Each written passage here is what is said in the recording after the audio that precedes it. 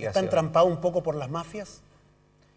Bueno, eh, por lo menos sus funcionarios más cercanos, el ministro de Justicia, el ministro del Interior, el secretario general de la Presidencia, eh, sin duda están entrampados por las mafias. Respecto del presidente Menem, yo espero que no.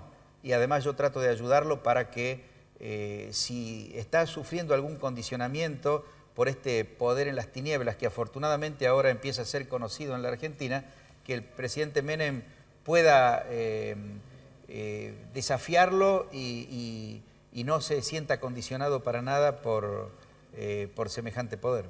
Don Domingo Cabal, ¿usted cree que viviendo este, permanentemente en fuego cruzado, disparando y recibiendo, ¿puede ser candidato a la presidencia de la República de la Argentina?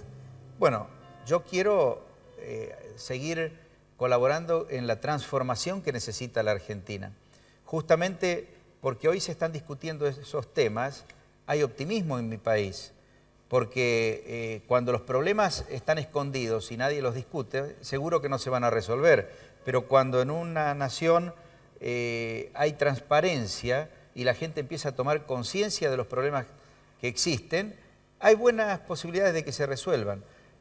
Yo no sé si voy a llegar a ser presidente de la Argentina, pero voy a seguir bregando por eh, transformar a la Argentina y resolver eh, sus problemas. Tengo la suerte de que la gente me cree.